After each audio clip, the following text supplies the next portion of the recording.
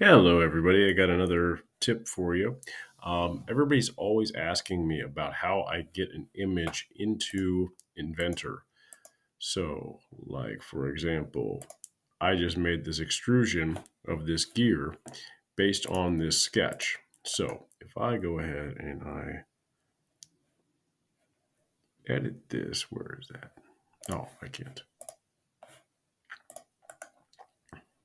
Here we go. Suppress that. You can see my original sketch. How do you get it there? So I'm going to walk you through doing that real quick. What you want to do first, find a sketch or an image that is very easy to um, copy, such as something that's nice, bold, black and white. Um, if you can find an SVG that stands for scalable vector graphic, then life will be much easier.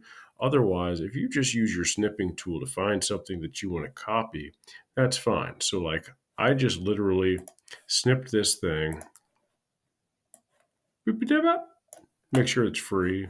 And then what you want to do is just go file, save as.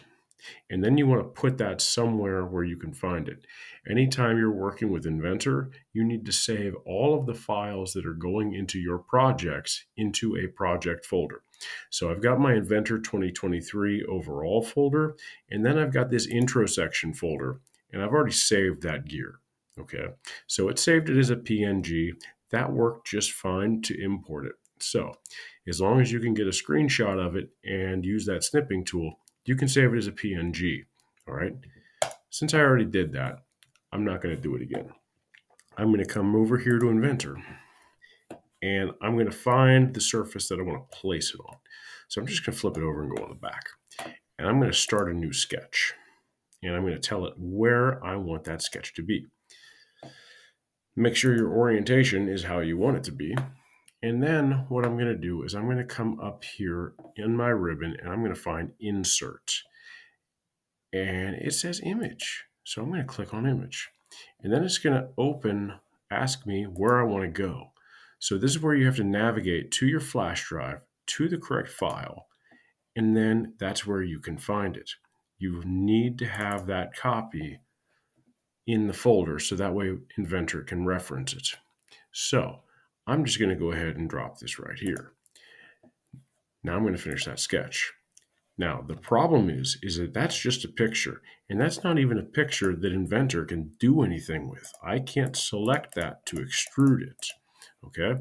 So then what I need to do on top of that is I have to create another sketch, and then I have to use my tools available to trace it, okay? So right now, I'm just going to crudely make a couple of circles.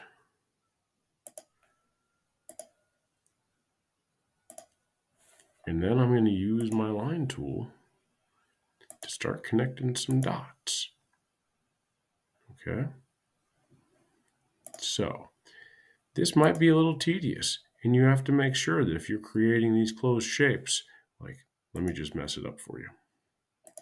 Like if I do that, you see how the line tool drops, but I have this little line extending out? That means it didn't end and terminate at a point. You see how it terminated right there? Okay. The reason that that makes a difference is that if it is not a closed shape, it will not properly extrude. So if you have some shape like this, you can trace around the outside. You can use primitive shapes such as squares, rectangles, and circles to try and make most of the shape. And then just use your line tool to connect the dots. And then use your trim tool to cut away sections that are not necessary. Ah, and remember, Control Z is your best friend. Okay, so what you want to do is you want to go ahead and connect your dots to make a closed shape.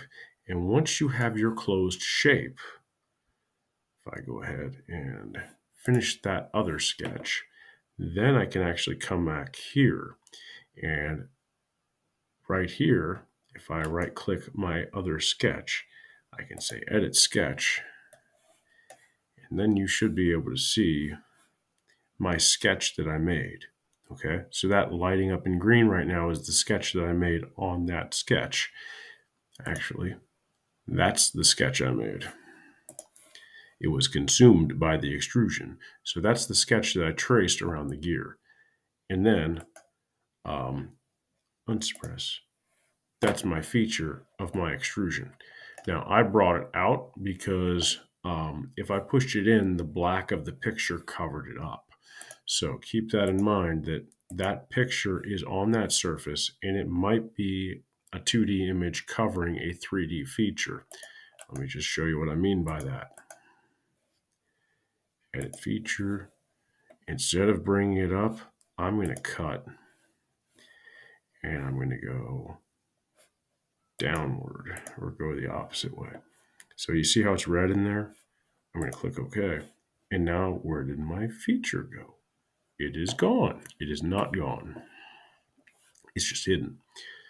And if I suppress this or turn the visibility off on it, now you can actually see it. Okay, so hopefully this helps you out. If you want to import a image into your keychain or anything else, um, you can go ahead and use that to help you out. Um, take care.